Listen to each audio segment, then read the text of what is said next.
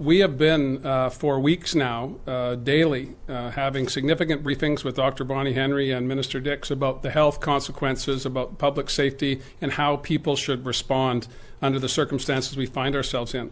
That remains the case. Dr. Henry is available every day for extensive uh, Q and A's with the media. Uh, this is uh, broadcast live on many networks.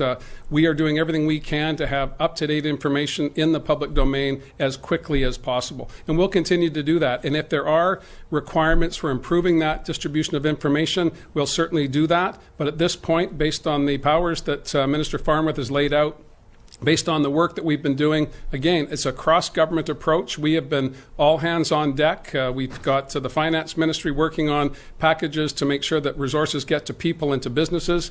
The Minister of Housing is working on making sure we're addressing the hard to home, those who are concerned about their rent and concerned about their mortgage. Uh, and, and it, this carries right across the board. The Minister of Tourism and Culture working with uh, film and cultural organizations who have seen uh, an elimination of their industry literally overnight. Uh, there's there's uh, a whole host of things that we're working on day by day by day and getting that information out to the public as quickly as possible. If there's need, uh, need for alert systems, the minister will uh, deploy those. At this point, we believe that the public is responding very, very well. Uh, there are some outliers, and those are the people that Mike was speaking about in terms of their behavior, uh, in terms of selfishness, their behavior in terms of disregarding the law as it's been articulated by Dr. Henry. Uh, if there's a need, uh, the minister has the powers to invoke uh, uh new, new mechanisms, uh, but at this point, we're comfortable with the way we're going from here.